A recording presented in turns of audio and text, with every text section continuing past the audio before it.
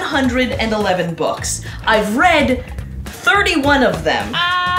That is 28%. Oh my god, this is awful. And I know what they say. Buying books and reading books are two entirely different hobbies. Buying books and reading books are different hobbies. But why? This book, hardcover, $29. I didn't get past the first page. In this economy? Why do I keep buying books I don't read, and how do I stop? To figure it out, we are diving into the publishing industry, speaking with booksellers, and of course, buying books we may or may not read.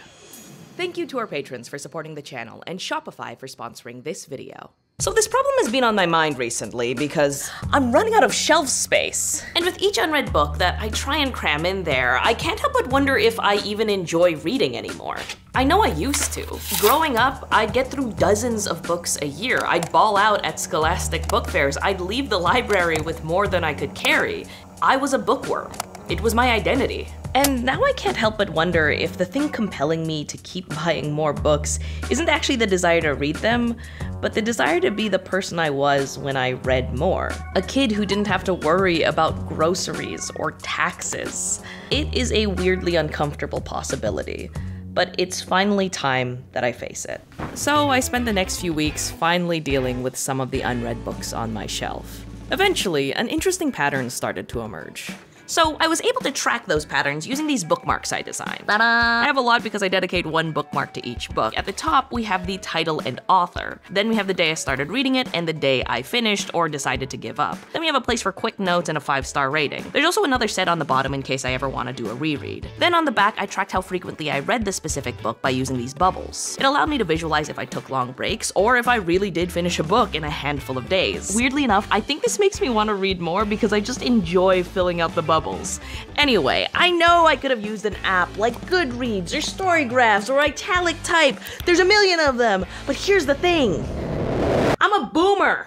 Like, I genuinely do find those apps confusing. This is a me problem, and I think I just found that I prefer the simplicity of having a little card in a little book. I just know there are gonna be comments, so we're selling packs of five for just $6.50, with Patreon supporters getting a 20% discount. You can find them in our website store, which is powered by Shopify, a commerce platform that helps millions of businesses, including bookstores and now bookmark makers, sell in person and online. I'll tell you how they made this bookmark release so much easier a little later. Anyway, in the past few weeks, I tried to read these six books. These are their cards. I'm gonna have to put them all back now. Anyway, I managed to get through three of them. These books were a fantastic reminder that I do love reading. Existential Crisis Solved. Except I got a new one because they're all genre fiction. With that, I wanted to see if the pattern held up for all of the books I've read. If they're all genre fiction, then it's pretty obvious what I should do. If they aren't, well, we'd be back at square one. What? Uh-oh, look at where we are. so of the 34 books I read, only 18 qualify as genre fiction. That is barely over 50%. But we also have history, anthropology, oh, literary fiction. Like this one won the Man Booker Prize. I don't know what that means, but it has the word book in it. So this shows that the type of book isn't actually a deciding factor on whether or not I read it. Like, I've read Orientalism, a really wordy critique on the West perception and portrayal of the East, but I've also read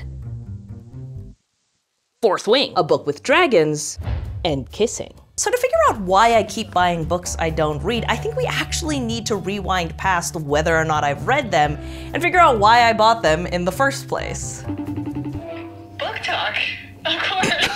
this is Kariza. She's the one who convinced me to read Fourth Wing. You just read Fourth Wing, you have to read the ACOTAR series. I think that is a BookTok classic. What is BookTok? It's a phenomenon on TikTok. BookTok feels like you are in this really fun club. If I was only going to read one book for the entire Five books that BookTok convinced me to purchase. It. And you have all these friends who you can geek out about.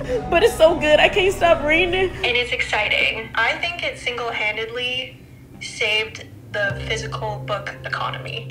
I thought she was being dramatic, but after doing some quick research, it turns out that BookTok is changing the game. I think the secret is that BookTok recommendations rarely have plot summaries or detailed reviews. Instead, they have A vibe? Can you describe Fourth Wing for me? Hunger Games, Divergent vibes. It feels like it fits in that era, and everyone was in a frenzy, and I feel like the frenzy is back. Hearing Kariza say all of those very familiar talking points out loud in a human voice compared to a TikTok with the text bubbles and copyrighted music was surreal. That moment made me realize that BookTok recommendations are weirdly vague. It's like they focus on how a book makes you feel instead of what it's about. And it works. I bought all of these books because of BookTok, and I'm not alone. BookTok is driving sales, establishing careers, and extending the lifespan of its chosen novels. You've probably heard about how TikTok is changing music by making it easier to discover new artists and also reviving the popularity of old songs. Well, it's doing the same thing for the publishing industry in a way that no other social media platform has managed before. But the thing that I find interesting is of these 19 books, I've read 12. That means that I am finishing my BookTok books 63% of the time. Now, if we compare that to my finishing rate for all of my other books, the ones that I found just by browsing in stores, it turns out that I am over twice as likely to finish reading my BookTok books. This means that if I want to solve the problem that is buying books I don't read, I just need to keep buying my BookTok recommendations because they are books that I do read. Perfect problem solved. Except why is that true?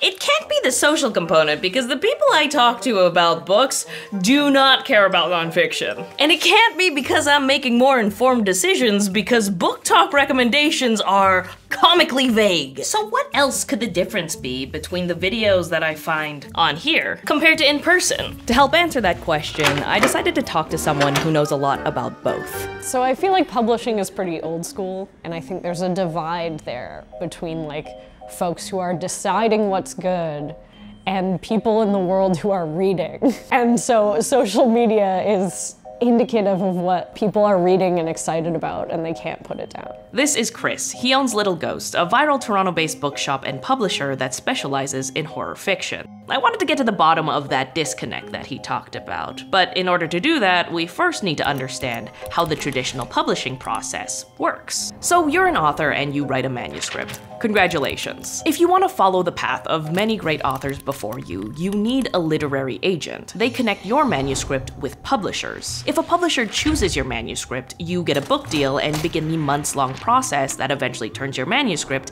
into a book. While your story is being polished, it's also being marketed and sold. The publisher works with retailers to figure out how many of your books to print and how prominently they'll be displayed in stores. Now, those decisions are usually based off sales comps, forecasts built on how books similar to yours have performed in the past. Generally, the better the sales comps, the more faith and money the publisher will put into you and your book. At a glance, the traditional publishing process is this really understandable, well-oiled machine, right? So where could it possibly break down, forming a divide between traditional and digital. If you have been in a bookstore, in the horror section, you might find the same five names. It's not that this stuff isn't being published or that people aren't reading it. It's just not being given space in the same way. Now that space is traditionally dictated by sales comps, and the idea of learning from history and past successes makes total sense as long as we've always had a level playing field. However, there are plenty of folks who have been underrepresented throughout history for reasons that aren't unique to publishing. So if an author exists in or at the intersection of any marginalized identity, they might be seen as too niche to market. In my opinion, this is where BookTok comes in. So sometimes I have something on the shelf for two months and no one cares. And I'm like, well, that's too bad. And then all of a sudden, like three months, four months from then, I guess some video or some reviewer has finally read it. There is a bit of like a cushion between when a when a book comes out and when people start to feverishly buy it. So there is a reason why I read more of my BookTok books compared to books I discover by browsing in stores. BookTok is actually helping me cut through a lot of the barriers and noise that comes from traditional publishing, making it easier for me to discover books that suit my interests. Now interestingly, there are ways to do this without using TikTok. So in our upcoming newsletter, I compiled a whole list on how to improve your book discovery process. But if you're somebody who already has really great taste and wants to make money off it, I've also included a Shopify guide on how you can curate your own online bookstore. And now that we know how to buy better books, the video is over. Right? Why is there so much video left? Oh my god, this is gonna sound so stupid. I started this video because I thought I wanted to stop buying books I don't read. Learn how to do that using industry knowledge and modern technology. If that is all you cared about, then this video genuinely is over and you can go buy better books now. However, this optimized approach probably also means that we should stop spending hours wandering around in bookstores. It would save us a lot of time and money. But what if I don't want that? I told you I was gonna sound stupid. But even though it is inefficient, I don't want to give up browsing in person. Like this book, it was $29, never finished it, but A Tale of Reptile Smugglers and Skullduggery? Of course I had to give it a shot. I had to. But why do I feel like that? Do I just love consumerism? I wanted to understand why I was so tempted to ignore and forget what we just spent a week figuring out. So I returned to my notes to see if there was a reason hidden somewhere in my sources. Something that explained why I believed inefficient browsing was worth keeping. And maybe it was good research, or maybe it was confirmation bias, but think I found something. Here's my idea. A publisher making a book deal with an author is a lot like me browsing titles at a bookstore. We both have a ton of options, but limited information on whether a book will be successful. For me, a successful book is one I finish, but I can only go off what I've read before. For publishers, a successful book is one people buy, but they can only go off what people have bought before. The difference is that bookstores have been doing this for way longer and at a way larger scale than I have. So with all that additional experience and context, how do they avoid failure? They don't. It is actually kind of bonkers, but the CEO of Barnes & Noble said, up to 80% of middle grade hardcovers bought by B&N were routinely returned unsold to publishers. The rates of return for adult fiction were little better. What? With about a 20% success rate, that is about the same as me and the books I find through Browse. And the similarities don't stop there. Publishers will either pulp these unsold titles or mark them as remainders for discounted resale. So the black dot that's been around for a long time in the publishing business. So it basically means the book has been for sale somewhere and then it's been returned to the publisher's warehouse. Uh, yeah, I'm Patrick Hempelmann. I've been uh, running and owning this uh, BMV bookstore for the last close to 30 years. BMV Books is a Toronto-based bookstore that offers a mix of new, used, and remaindered books. The shocking thing is, even up to this day, millions and millions of books get returned to warehouses and they're usually on the floor. So it's like huge areas of just thousands and thousands of titles on the floor. It's not easy though you know? I mean a lot of those books they get returned for a reason yeah. because they're, they're not the greatest books. So the challenge is for us really to find those books that are still good titles and relevant titles and in demand titles. You might see like 200,000 books and we might pick thousand. So, while places like BMV Books might give those unsold titles a second chance, there are still tens of thousands that are gathering dust on shelves. Sound familiar? Now, there are a few reasons why publishers might print too many books, like they might want to flood the market to get attention, or they might just suffer from some incorrect forecasting. However, this whole phenomenon has been happening for so long that there's something else that needs to be consistently justifying the cost of printing, shipping, returning, storing, storing and destroying all of these books. You know what it is, right? You know. Economics! Specifically, economies of scale. You see, books come in a lot of different shapes and sizes that are dictated in part by cost and in part by what publishers think will help sales. This means that when you get a book printed, you have to change a printer's settings. But no one likes dealing with printers. Not even print shops. So they charge a high startup fee for all the trouble. But the good news is that once that nightmare is over, you literally have a book printing machine, making the cost of printing additional books relatively cheap. So you can make the cost of printing any individual book cheaper by spreading out that startup cost across more prints to a point, but it all becomes worthwhile if you sell those books. And it's not just printing. Economies of scale can benefit all of the logistics it takes to get a book into your hands. Now here's the thing, I don't buy books because I want to sell them. You probably don't either. I buy books because I prefer to read like a monster. However, I still think that we can learn something from this approach as long as you ignore your initial disgust at economics. You see, even if a publisher is benefiting from decreased unit costs, oh god, if the books don't sell, it's still a cost. Oh god. Maybe I'll do it from the other side. I'm going to show you how to fold a portable green screen. How did he make his look like that? We're cutting. This is stupid. I got it. Anyway, all of these costs are just something that the publishing industry has come to accept and even embrace on the chance that a story thrives. In a world where other creative industries are suffering because the people with money don't want to take risks, this imperfect approach is kind of refreshing. I think in a way it kind of makes sense because otherwise bookstores would never take a chance on certain books and it gives especially new authors a chance to become known. Authors were having trouble finding places to put their stories that were weirder, queer, more niche, uh, and in order to serve the community who came here better, this seemed like the logical next step. We're like, okay, fine, no section for us, we build section now. I've always known that it's important to give people and their ideas a chance. It's just that after all of this, it's the first time I realize that those chances come with risks. Maybe it's just my math degree speaking, but I always figured that there was a way to do enough numbers to make that risk zero.